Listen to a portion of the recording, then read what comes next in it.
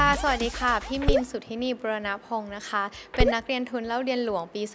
2550 นะคะ ปัจจุบันก็จบการศึกษาทางด้านเศรษฐศาสตร์และคณิตศาสตร์จากมหาวิทยาลัยคอร์เนล ประเทศสหรัฐอเมริกาค่ะค่ะ ในฐานะที่พี่มินนะคะก็เลยเคยเรียน N Concept มาก่อนนะคะ ก็จะบอกน้องๆว่า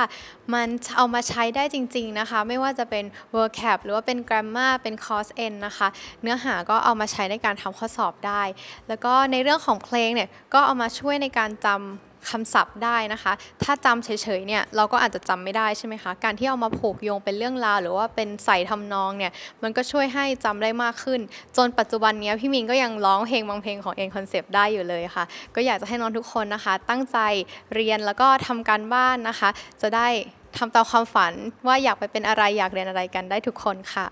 ในตอนนั้นเนี่ยพี่ก็เป็นคนหนึ่งที่ที่นั่งเรียนอยู่ที่โต๊ะเลคเชอร์ นั่งอยู่อย่างเงี้ยเหมือนน้องๆเนี่ยแหละค่ะ แล้วก็คิดว่า มัน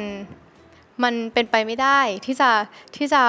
เป็นคนหนึ่งที่จะขึ้นมาบนเวทีแล้วก็แล้วก็พูดให้กับน้องๆได้ฟังอย่างนี้ แต่ว่าพี่อยากจะบอกว่ามันความฝันมันไม่ไกลเกินเอื้อม ถ้าน้องๆมีความตั้งใจจริง ทุกอย่างมันเป็นไปได้ เพราะฉะนั้นก็สู้ๆค่ะพี่ๆเป็นกำลังใจให้